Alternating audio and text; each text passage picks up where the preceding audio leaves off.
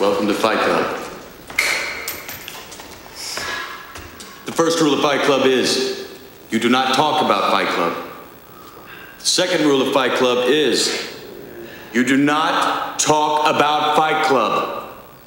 Third rule of Fight Club someone yells stop, goes limp, taps out. The fight is over. Fourth rule only two guys to a fight. Fifth rule one fight at a time, fellas. Sixth rule no shirts, no shoes. Seventh rule fights will go on as long as they have to. And the eighth and final rule if this is your first night at Fight Club, you have to fight.